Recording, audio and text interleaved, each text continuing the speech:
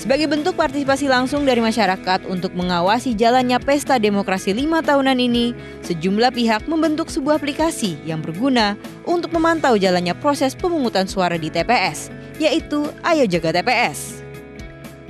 Aplikasi ini diharapkan memicu masyarakat untuk berpartisipasi dan mengawal serta menjaga suaranya saat 17 April mendatang. Selain itu, diharapkan dapat menekan angka golput. Baik dari pihak BPN ataupun TKN melihat aplikasi Ayo Jaga TPS ini sebagai sarana untuk menjaga agar pemilu berjalan baik di luar keterbatasan saksi yang mereka miliki.